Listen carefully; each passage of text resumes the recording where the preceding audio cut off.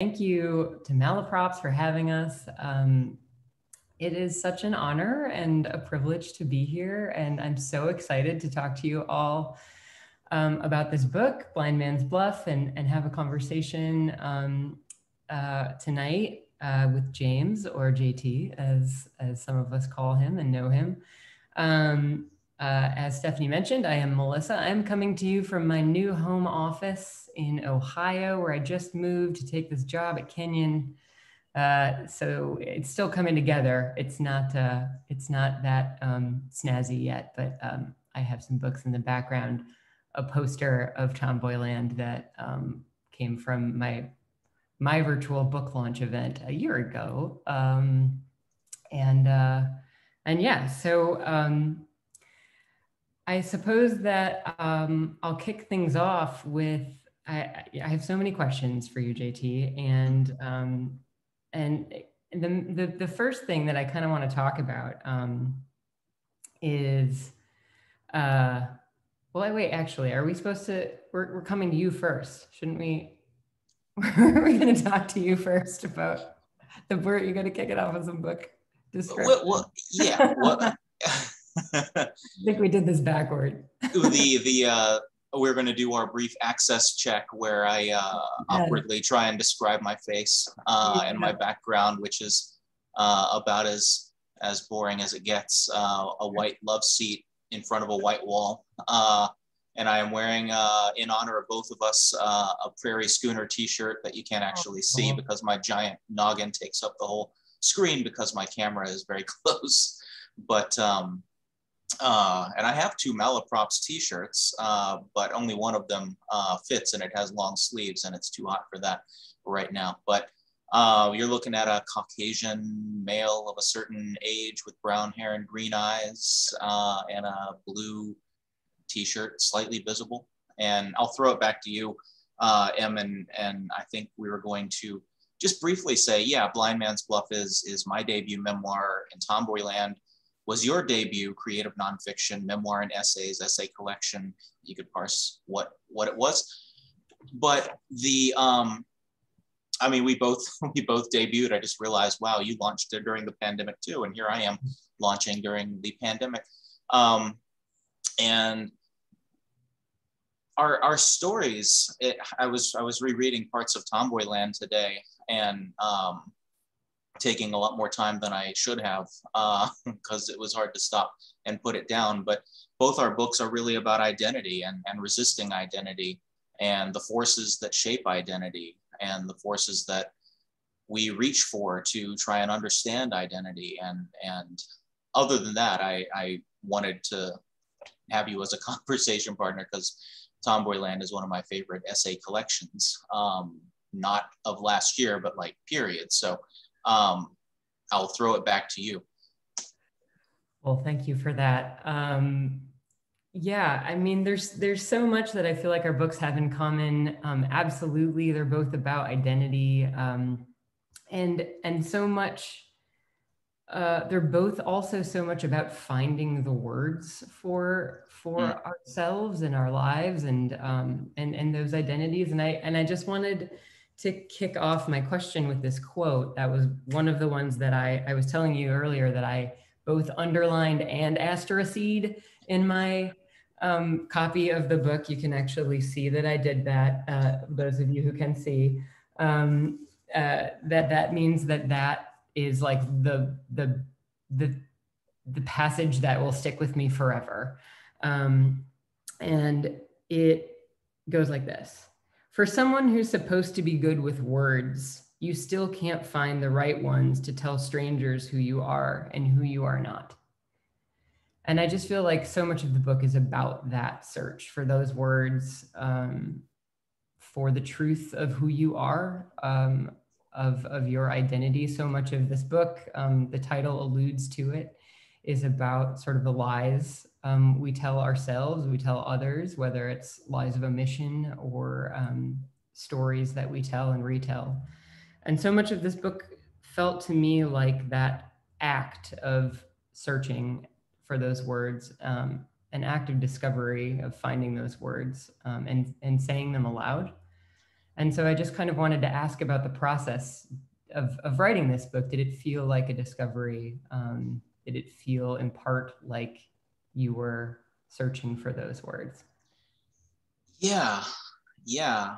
Um, and and obviously the book could not have I couldn't have started writing the book if I hadn't achieved a level of self-acceptance that actually gave the book a narrative arc because mm-hmm. otherwise it was just still mired in denial and there was no story there so I, I emotionally had had come to terms but that is as as a fellow writer you know that's uh, the first step to actually finding the words uh, and it's it's a lot more complicated to find words for describing emotions uh, and I think we both write about those awkward, fraught teenage years and mm-hmm. well, beyond the teenage years where you have no idea how to um, how to express emotions and you're you're looking for all kinds of sublimation whether it's music.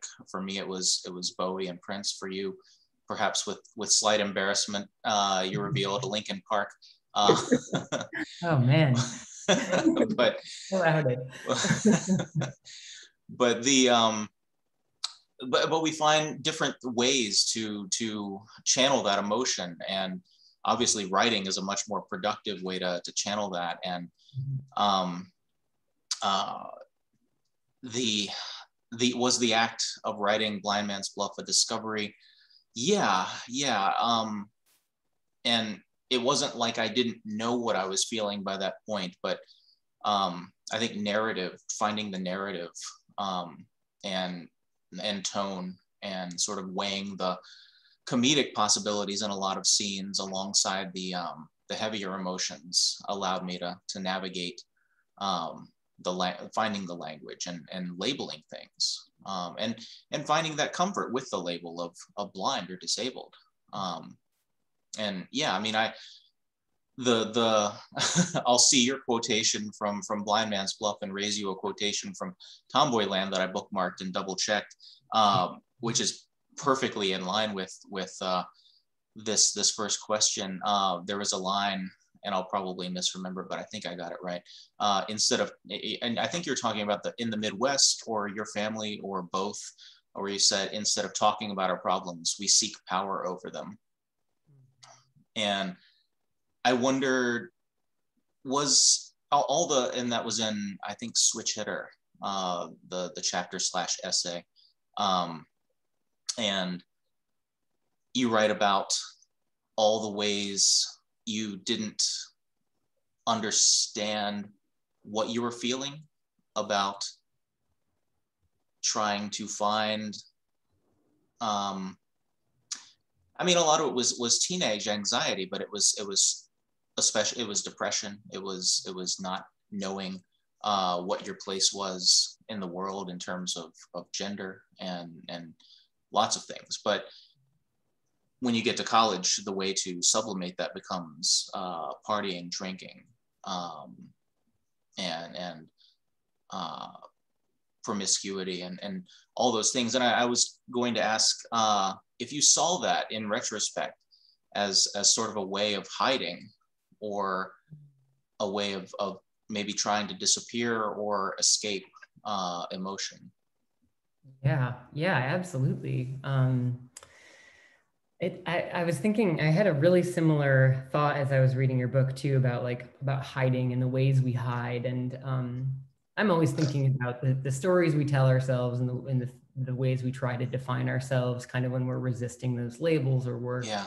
sort of not able to look at what is actually happening and, and um, to really look at ourselves and definitely in that i feel like everything i was doing in my 20s was in in a way hiding you know certainly my early 20s my teenage years and early 20s and it was um you know a lot of different forms of um you know destructive behavior but it was also mm-hmm. the ways that i was like um really i think still in this mindset of performing femininity you know when i was younger yeah. i read about this a lot when i was younger I, I sort of went through this period where i was like highly um, feminizing myself and um, and I was still kind of doing that in college and I think like sex was a part of that too um, trying to sort of use that as a way to feel some skewed semblance of power um, and not really understanding until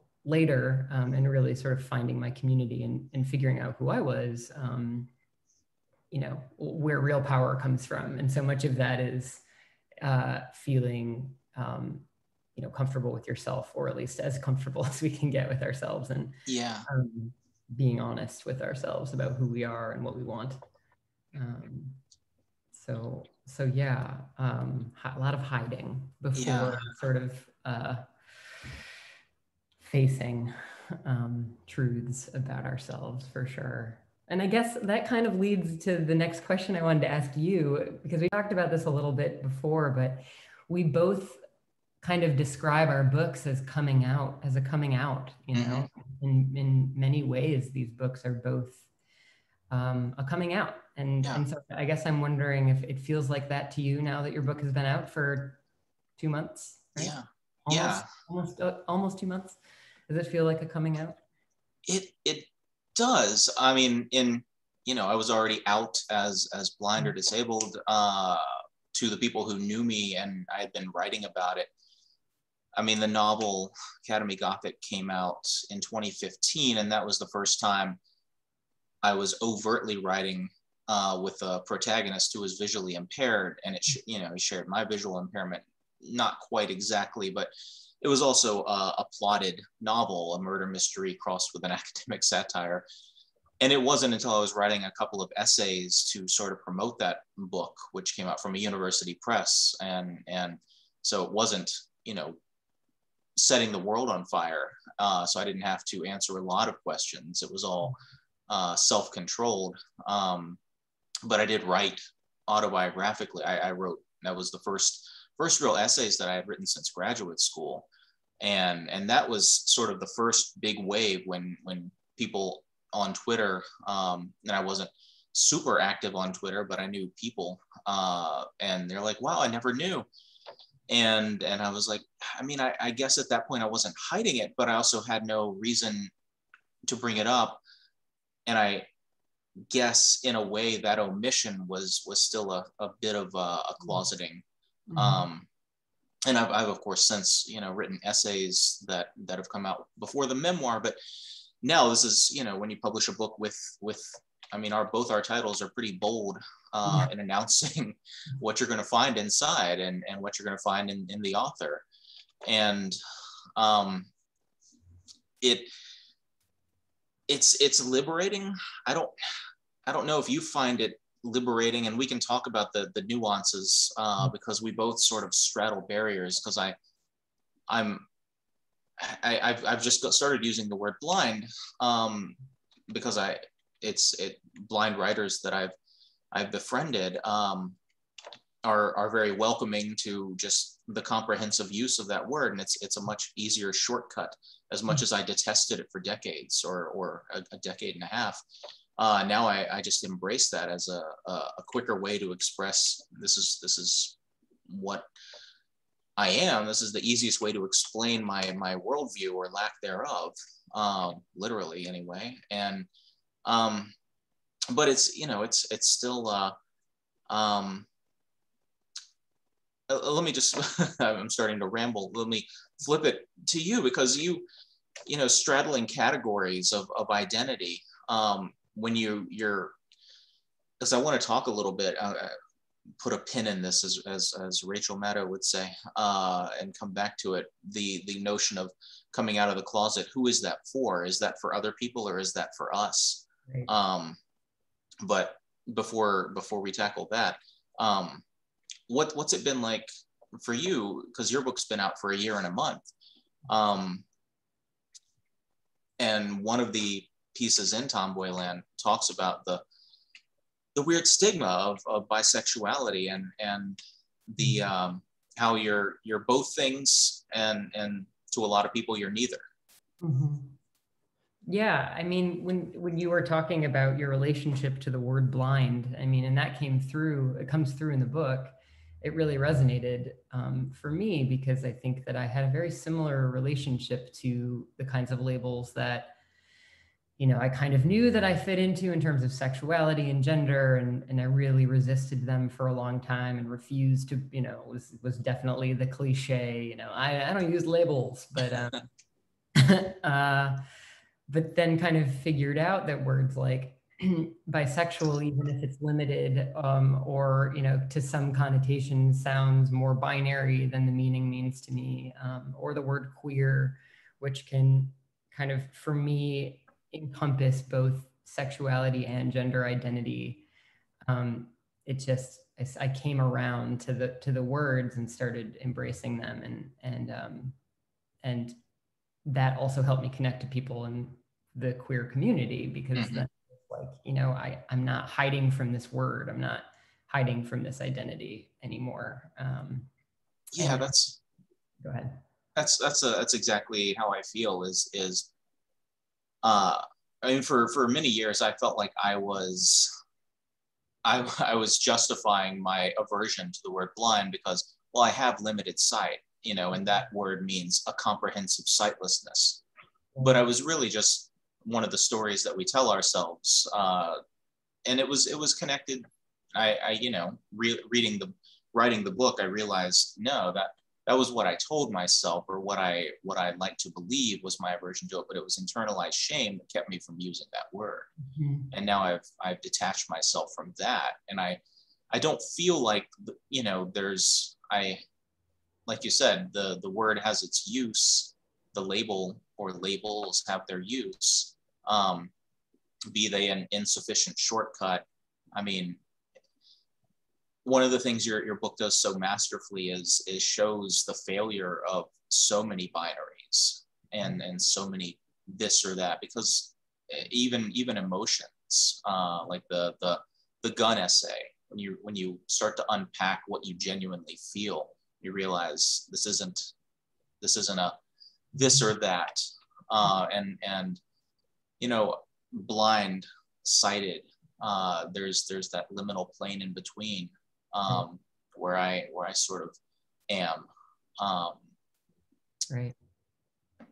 And there's that that not to linger too long on this question because I still have so many more and there's so so many things to talk about, but also this like the you know the part of that sort of feeling like oh well you know i have i have limited sight so you know I, I don't really want to call myself blind. Yeah. Or, you know, a, a kind of parallel to that, I feel like for me was sort of not, you know, and I still feel this way to some extent, like uh, that, you know, there are times when I'm like, oh, I can't use the word queer because I'm not queer enough because of my bisexuality, you know, yeah.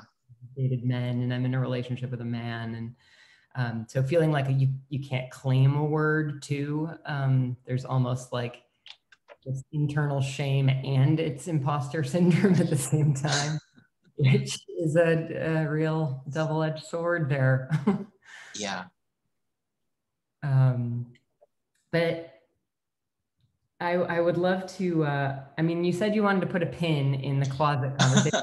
Go back yeah. to I have other, I have lots of other things I want to talk okay. about. Yeah, I mean, just a, a quick, I, it was just something I was thinking about walking uh, today with with your book again and thinking, um, or maybe it was after we had posed that that idea of coming out with our books, um, and I, I realized, you know, it wasn't for me. I guess my answer to the question is it's not so much for other people as it is just an extension of of my own self acceptance. Yeah.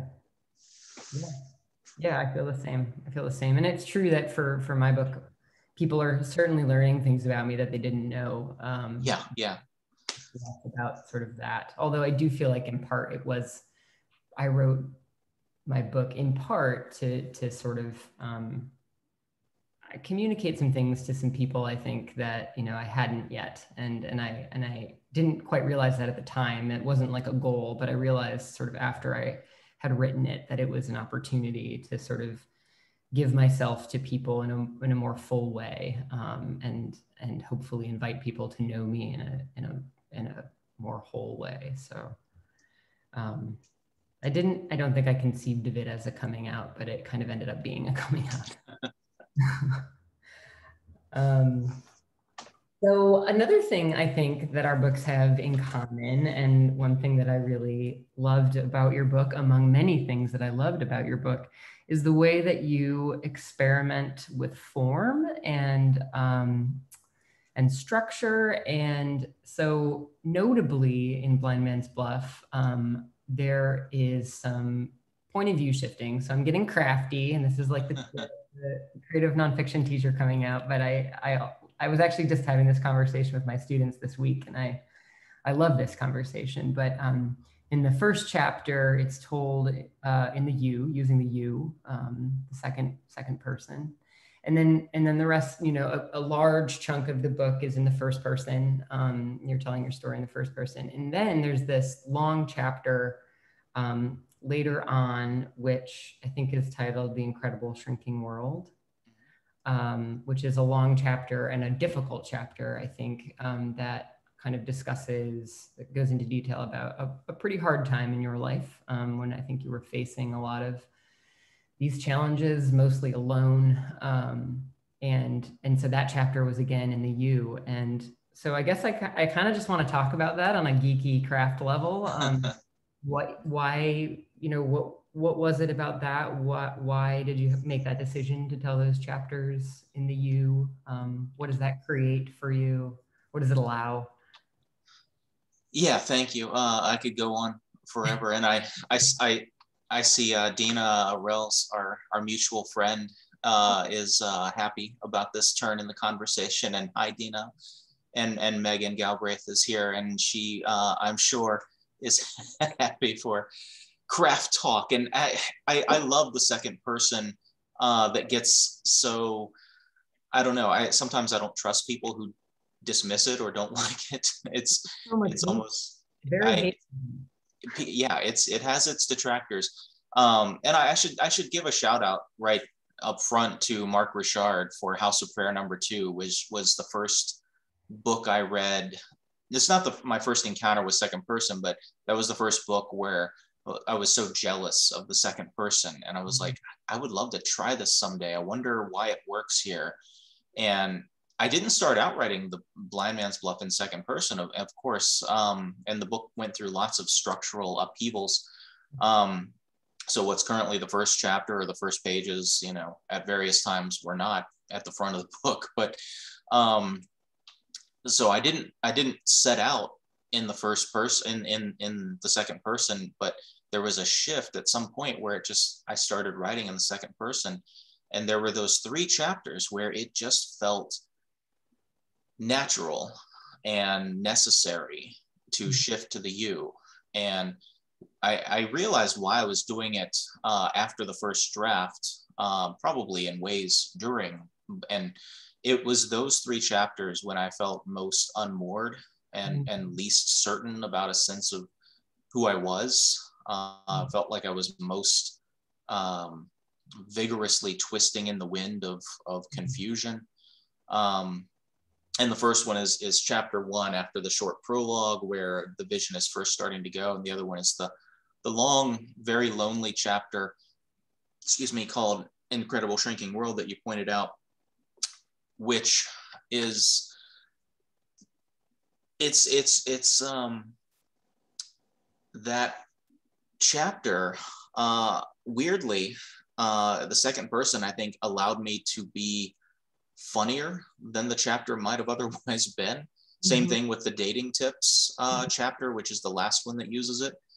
Um, and I don't know, I, I, I, find it lets me step outside myself um, and, and see myself with a, a, sort of comic objectivity, but it also allows me to, um, I don't know, it lets, it lets me call myself on, on the mistakes uh, in ways that I mean you could certainly do that in first person, but I don't know. The you um, has this edge to it that allowed me to see myself uh, from the outside in while I was writing. So same question to you because I was noticing in Switch Hitter, you mm-hmm. go from first person to second person, and then there's even third person. Yeah. Yeah, well, I'm writing down right now um, what you just said about seeing yourself from the outside in, because I feel like 100% that was that was the the I don't actually know if it was the motivation, but I think that's what it allowed me to do. So I do switch in one essay, I switch from first to second to third, which my editor hated me for and was like, you can't do that. There's there's some there's some rule where we cannot do this. And I was like, we're doing this.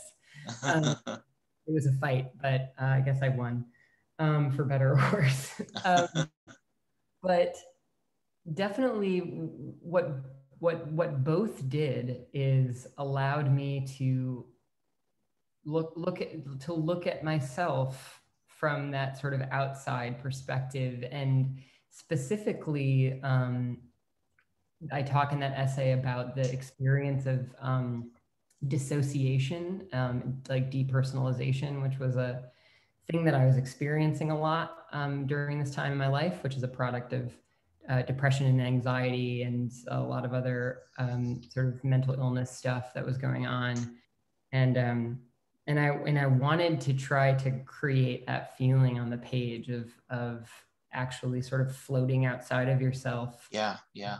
Consciousness leaves your body, and you sort of, you know, are kind of like watching your body uh, do something, or or just doesn't seem like yourself, and you seem very dis it, it feels like you're very disconnected from what's happening.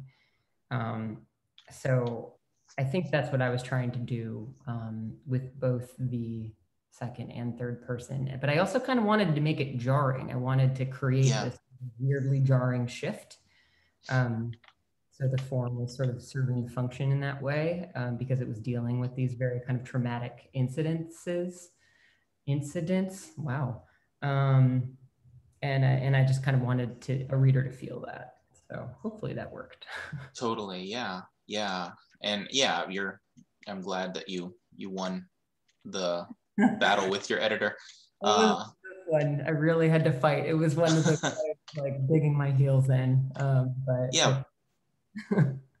and and and huge gratitude to my editor Amy uh, at Norton who never questioned my my second person um, and there was there was a note from her um, assistant who was giving me really really good notes, and then there was this one note that said um, that she noticed a couple of the chapters were in present tense, and the whole shouldn't the whole book be in past tense. And that mm-hmm. was when I started to freak out, and I, I had to email Amy. I was like, "Oh my God, is this is this from you? Is this from uh, Zarina? Is who is who is this coming from?" Uh, and I was, if you if you look closely, you'll see that the three second person chapters are also in present tense. Oh, um, right. And I sort of associate present tense also with this sense of stasis um, mm-hmm. and an, unre- an, an uh, a sense of things being unresolved mm. um, in ways that the past tense um, it feels more looking backy or insighty um, yeah. yeah. And, and so and the other two little sections the the first the prologue and the, the very short last chapter are also in present tense for that same reason. But mm-hmm. we're probably putting to sleep some of the people but others are cheering us on with our craft talk i'm sure. Dina and megan for sure. Um, yeah yeah. A love song to the second person. Um, there was one other craft thing that i wanted to talk about um, uh, well, actually, I have two, but I'm gonna I'm just gonna pick one for now, so we have time for audience Q and A. But um, one of the things I loved most about this book that I just like I thought was brilliant um, was so as we're sort of following your life um, in this book um, and following kind of the, the main arc um, in this main conflict, um, we're also seeing you as a writer. And so, you know, young James throughout the book is a struggling fiction writer, um, and he's you know trying and trying and trying and and sort of hitting walls and and just not you know um, it's just not like going the way he wants it to go, and he's struggling and and and continuing to write and continuing continuing to fight against you know um, sort of stasis or rejection things like that. Um, but one of the things you do is you use that sort of novel, the novel that you were working on in this book as a at least the way I interpreted it, as um, a bit of a metaphor for your life. And when we get to toward the end of the book, I'm not going to give anything away for those who haven't read it, but um, you talk about revising the novel and mm. work of revision. And um, I'm actually going to read another quick passage because it was another favorite of mine. There's a there's a section in the um, dating tips chapter um, uh, about uh, um, it's called dating tips for those still in denial. Um, but there's one dating tip um, that is titled revise. Um, I'm just I'm just going to read a, a short part of it. True revision, you tell your writing students, is more than correction. You might find yourself deleting entire pages, rewriting from a different point of view, changing past tense to present, overhauling your entire first draft upon discovering you hadn't known what you were trying to say until the last few paragraphs. Let's break down the word, you say, drawing a slash between re and vision. You're trying to see what you've written a second time, see it with fresh eyes, as you haven't seen it before. I just underlined the crap out of that whole paragraph. It's just a so beautiful and such a perfect metaphor for this work you're doing in this book. Um, I think of of re envisioning your life and and like re revising the story that you're telling about yourself. Um, and I guess I just wanted to talk a little bit or hear you talk a little bit about the use of writing in this book um, metaphorically or otherwise? Yeah, yeah. I, I just finished an essay, uh, which is an expansion of the really condensed story in the book of, of my high school English teacher um, teaching a story when I, the year I was adapting to vision loss, and I asked her if she would look at a short story that I was I was dictating short stories into my micro cassette recorder, and my mom would type them up, and I, you know, pretend they were assi- assignments for school. And it was really the first thing I'd ever written that wasn't for school, but I was taking them to my, my high school English teacher for feedback. And um, I, I had no idea at the time that I was clearly trying to express something or, or just trying to find an outlet, uh, trying to push against the, the walls that were closing in on me. Um, as my vision continued to deteriorate a, a bit throughout that year. Um, and I, I'm fin- I, I just finished this this essay that expanded on that, and I was trying to to ask myself why um, was I going back when she would give me notes i had never revised anything in my life uh, why was i revising these these mm-hmm. short stories at age 16 and 17 and and i thought you know it I think it felt good um, after doctors had told me what couldn't be fixed mm-hmm. to go fix something with just words or at least seem to fix something with words and I was you know, I think writing was always part of that. And I think all of us writers nonfiction or fiction we're always stumbling into what we should be writing. And it's it's never a quick journey I, for for most of us anyway. It takes us a long time to figure out what story we're trying to tell either about ourselves or through fiction. And and i you know it's it's um whatever you want to say about writing uh, it's easier to revise a novel or a memoir or an essay or a short story than it is to revise how we see ourselves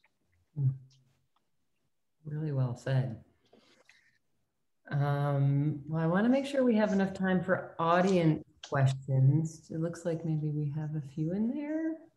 Um, I, I, I guess I, I just have one quick question before we yeah, get to yeah. that I really wanted to make sure um, we hit, but um, just because we talked about this a little bit, but um, kind of the the the genre um, question of, of memoir and essay, but so many of the chapters in your book um, re- read to me like standalone essays, like they could serve as standalone essays. Um. They really have kind of like a whole arc and a life of their own. And I'm just wondering how you sort of conceived of the structure of the book um, and how it came together. Yeah, yeah, I, I definitely set out I think because I started writing it as we write most of our stuff on on spec. I did not have an agent. I had not sold the book on proposal, and so I was just thinking I probably should publish some of these pieces in order to make this more attractive. Um, so that was probably the inspiration. Although I think as a as a novelist uh, or a trained fiction writer, I'm I'm most drawn to narrative arc. Um, rereading Tomboyland, I, I was in awe of how seamlessly you find tension, um, not necessarily from a narrative arc, or how narrative arc is so creatively defined. Mm-hmm. Uh, and I was, you know, thinking, all I really know is is the one way of doing it. uh, I mean, I've got little tricks of braiding this and braiding that, but you know, I still feel like I'm I'm relying on a lot of uh, fiction skills at the heart of it. Um, so I don't know that I I found um, I, I guess there's maybe three chapters that I didn't conceive of as standalone essays. Um, and it, part of it was just because there was so much that I had to convey. I think it was the Incredible Shrinking World chapter and the one before it uh, that was almost all in college. Um, and I guess the the marriage chapters uh, in retrospect, those those feel more standalone than they they were originally. Mm-hmm. Um, but that was that was yeah, you're right. I I did set out for them to be um, essay-ish, uh, much to the chagrin of one of the early agents I queried, who said she couldn't sell an essay collection. So. Uh, kudos to you for selling an essay collection and boldly putting the word on the cover. definitely heard a lot of no. so, um, great. Well, um, should we go ahead and open it up to audience? Yeah. Any questions? Hi. Uh, yes, we do have. Um, we actually just got another question from Megan Galbraith. Um, so I want to give a verbal shout out to Megan as well. Uh, Megan is the author of The Guild of the Infant Savior. Um, we had the pleasure of, of hosting um, Megan for an event a little bit ago, and it was delightful. And Megan um, called me a doll in the chat for posting the link, and I just need to say how loud, out loud, um, how uh, perfect I think that is, considering the dolls and, her, and, the dollhouse uh, art project, and um, and the dollhouses we got to see. So. Um, uh, thank you, Megan, and thank you for this question. Um, You've both written deeply personal books. Can you talk about the response from people close to you versus everyday readers? Um, Megan says, writing memoir is hard this way, and I'm very interested to hear how you both dealt with the experience. Yeah, we talked about this a little bit on the phone, um, though I think we, everyday readers, we were sort of lamenting um, people who publish uh, quote unquote reviews at various outlets we won't name. Um, and most, the overwhelming people are, are, are kind and especially in, you know, I've only had two in-person events, so I haven't gotten to interact with people on the level um, that I might have otherwise. Um, I, to me, it's been extremely gratifying. I just today, I've gotten four people who I'm not close to, but people who I, I guess I know from social media, uh, you know, sort of social media friends, people who I guess when we meet in real life, they'll be real life friends. But I mean, I, I have plenty of social media friends that I, I do. I mean, I'm Megan and Dina, I, I consider very, very good friends, though we have not gotten a chance to, to hang out in like, you know, proximity, uh, thanks pandemic. But um, the, uh, um, yeah, I, I, I've just been the recipient of tons of kindness at this point. Uh, so this maybe is a better question for you, Em, because your book's been out for 13 months. Um, but I, I, I, will start out by saying that on the coolest uh, tweet, one of my favorites was on Father's Day. Uh, Melissa tweeted that her dad had read her book several times over. And I yeah. thought, especially, I mean, that's warm warm-hearted and and like melts my soul in all the best ways period. But when you consider the sensitive subject matter of this book uh, and the depth of it that's even more impressive. So yeah. But Bob, i'll let you take the rest of that question bob Faliveno has read tomboyland four times and he recently said to me i think it might be time for a fifth read um, he is number one fan and um, yeah, I mean, it's been a it's been a wild ride. Um, far and away, the the responses to to my book have been very, very, very positive, and um, from reviews, thankfully, to all of the messages I'm getting, and I know that a lot of people who write personal um, essays and memoir do not have this experience um, or have a lot of the bad version of the experience, but I have yeah. not any, you know, bad emails or you know or, or hate mail or any of that. Um, i have gotten so many messages from strangers from the internet um, sending sending emails through my website just to say thank you. Yeah. Um, and to say that you know how much the book resonated um, and then you know people from my past like you were saying jt like high school friends, um, people I haven't spoken to in 20 years, writing me to say, you know, how much the book resonated and, and, how much it meant to see sort of what they felt like was also their lives sort of um, rendered on the page. And people who are struggling with identity stuff saying that I put words, you know, that, you know, articulated things that they haven't um, been able to articulate. And that to me is like the, that's it, you know, like that, yeah. that's yeah. It, exactly yeah, I've yeah. had uh, a couple of like conversation, like actual telephone conversations with with otherwise strangers who who had, were going through vision loss uh, and told me how much the book meant to them just as sort of a, a as a guidepost uh, for what they were going through emotionally. And you know it doesn't it really doesn't get any better than that. And you have to keep reminding yourself of that yeah and because it, we're neurotic writers. Exactly. And it, it, really does make up for the bad ones. Like you know whatever stupid one star reviews we get on the sites that shall not be named um, or like the or the very very few you know personal interactions i've had that have not been great you know the, the good outweighs the bad and you have to just sort of focus on that and yeah. and try not to think about the, the negative responses because people who are responding negatively are just bringing their own shit pardon my language to the yeah. to the conversation you know? It's not about you or your book it's about them and easier said than done like you know in exactly. Yeah. Um yeah the good outweighs the bad for sure um Dina actually had a had a question that's similar but a bit different. So I so I want to read this out, and I, would like to say first um, that uh, Bob Faliveno has some fans in the audience. Um, so uh, apparently Bob oh. Faliveno is out there determined folks. Uh, so hi Bob. Um, and uh, Dina is asking, how and when did you show pages to family or close friends? who may have had a complex reaction to some of the revelations and uh, revelations, revelations and content in your memoirs. Was it during drafting, revision, finished manuscripts? Did you, I'm throwing, this is me ad libbing. Did you tell them to just go buy a copy? You know, what was the, what was, how did you sort of open that up to folks who were, who would really be poised to, you know, have, have a reaction?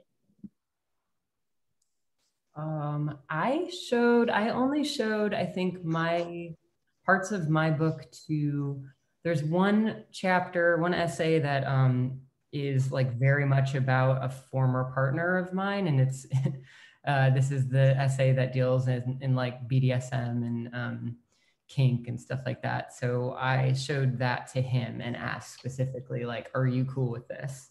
Is there anything you don't want in here? And he he's also a writer, so he was like, a he just loved it that we were that I was writing about it, and and b just there were like two things, and he was like, yeah, if maybe you could like scratch those details, that would be great.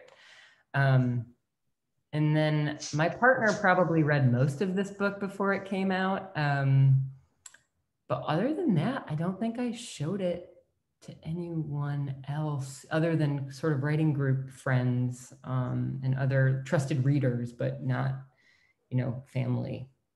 I don't think any of my family read um, most of it. Although some of the some of the essays were kind of previously published in in um, original form, previous forms. So I guess they read those.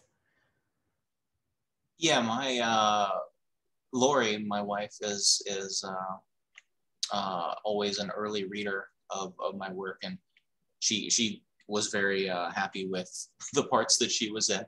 Um, because of course she comes off as as very uh, wonderful, which is which is true. Um, but in terms of other people, people who might, I did not do the Mary Karr thing of, or at least what Mary Karr purports to do, uh, which is showing everybody who's in the book uh, a version of the book before it comes out.